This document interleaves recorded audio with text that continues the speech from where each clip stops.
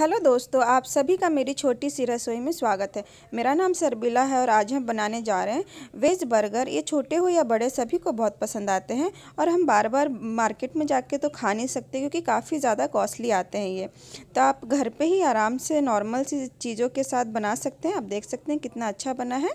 तो मेरे वीडियो को पूरा एंड तक ज़रूर देखें। अब चलिए बनाते हैं वेज बर्गर।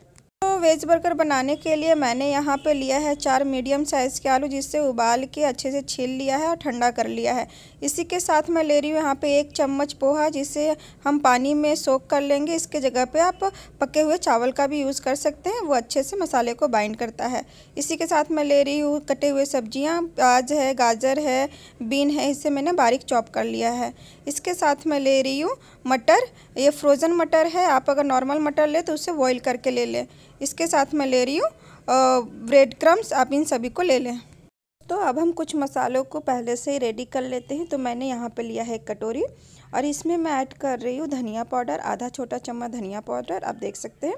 उसी के साथ मैं डाल रही हूँ वन फोर्थ छोटा छोटा चम्मच हल्दी और इसके साथ मैं डाल रही हूँ लाल मिर्च पाउडर आधा चम्मच, यहाँ जीरा पाउडर एक चौथाई छोटा चम्मच है। इसके साथ मैंने लिया है गरम मसाला। एक चौथाई छोटा चम्मच से थोड़ा सा कम है और आध, एक चौथाई चम्मच यहाँ पे चिली फ्लेक्स लिया है। अगर आपके पास है तो डालें, नहीं तो स्किप कर सकते हैं। इसके साथ मैंने लिया है आमचूर पाउडर। एक चौथाई छोटा चम्मच से कम है ये और इसे मैं इस तरीके से मिक्स कर दी हूँ। तो यहाँ पे मैंने एक पैन लिया था, इसमें एक चम्मच तेल डाल के अच्छे से गर्म कर लिया था और इसमें मैं एक चौथाई छोटा चम्मच जीरा डाली हूँ। इसे रखने के बाद मैं इसमें डाल रही हूँ हमारे कटे हुए मिक्स वेजिटेबल और इसे हम अच्छे से भून लेंगे। फ्लेम को आप मीडियम रखें हाई ना रखें और इस तरीके से भून लीजिए और इसमें थोड़ा सा नमक डाल दें जिससे कि सब्ज़ियाँ जल्दी सॉफ्ट हो जाए और हमें बहुत ज़्यादा भूनना नहीं है, दो मिनट आप भून लें, उतने में हो जाएगा।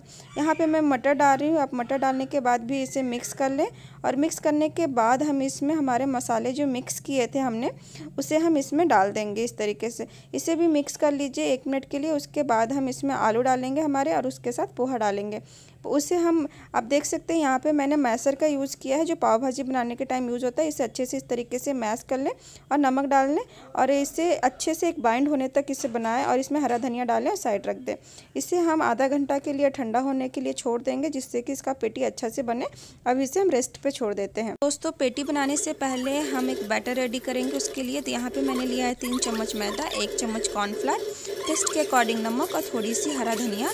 और इन सबको मिक्स करके हम एक बैटर रेडी करेंगे, जो बहुत ज़्यादा पतला भी नहीं होगा, बहुत ज़्यादा गाढ़ा भी नहीं होगा। नॉर्मल हमें रेडी करना है और इसे हम साइड रख देंगे। तो आधा घंटा होने के बाद मैंने यहाँ पे अपना मसाला ले लिया है ब्रेड क्रम्स ले लिया है और जो हमने घोल बनाया था उसे ले लिया है। अब इसको हम पेटी का सेप देंगे। आप इस तरीके से हाथों से दबाते हुए एक पेटी का सेप दे दें। मैं यहाँ पे दो बना रही हूँ। आपका अगर बच जाए तो इसे फ्रिज में भी स्टोर करके रख सकते हैं, कोई प्रॉब्लम नहीं होती है। आप इसे इस तरीके से इसमें डीप करें पहले, उसके बाद इसके ऊपर ब्रेड क्रम्स लगाएँ। आप देख सकते हैं, इसे साइड रख दें।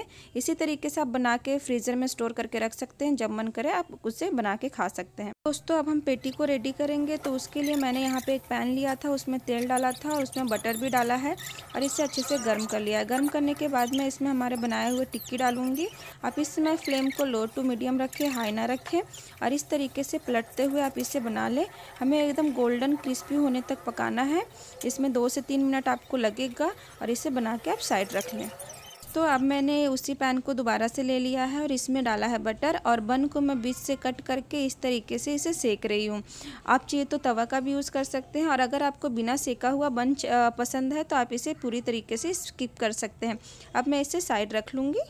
दोस्तों, हमने सभी चीज़ों को रेडी करके यहाँ पे ले लिया है। मैं मेयोनीज़ और टमाटो सॉस को इस तरीके से मिक्स करके ले रही हूँ। आप चाहिए तो अलग अलग भी ले सकते हैं इसे। इसी के साथ आप देख सकते हैं, मैंने बन भी लिया है, कुछ सब्ज़ियाँ भी से, सब्ज़ी भी मैंने काट लिया है। अब बन को मैं इस तरीके से रख रही हूँ और आप देख सकते हैं, हमारा पेटी जो है कितना ज़्यादा क्रिस्पी बना है ऊपर से। बहुत ही अच्छा है ये। अब इसे आप इस तरीके से इसके ऊपर रख दें, अच्छे से दबा के और उसके बाद हम इस पर डालेंगे हमारा चीज़ की स्लाइस। है तो डालिए, नहीं तो स्किप कर दीजिए। हम इसके ऊपर डालेंगे हमारी सब्ज़ियाँ। प्याज मैंने ऊपर से प्याज कटा हुआ डाला है, टमाटर डाला है और यहाँ पे मैंने पत्ता गोभी डाला है। हमारे, मेरे पास लेटिस नहीं था तो मैंने पत्ता गोभी का यूज़ किया। नॉर्मली किस, सभी के पास नहीं होता है। उसके बाद मैं इसके ऊपर डाल रही हूँ। अच्छा एक चम्मच भर के मेयोनीज़। मेयोनीज़ नहीं, अब चीज़ नहीं होगा तो बर्गर का मज़ा ही नहीं आएगा। तो आप देख सकते हैं कितना अच्छा हमारा बर्गर बन के रेडी हुआ है। आप इसी तरीके से बनाइए। और अगर आपको मेरी ये वीडियो पसंद आई हो तो लाइक ज़रूर करें, कमेंट ज़रूर करें और सब्सक्राइब करना ना भूलें। और बेल आइकन को भी ज़रूर दबा लें, जिससे मेरे वीडियो का नोटिफिकेशन आपको सबसे पहले मिले।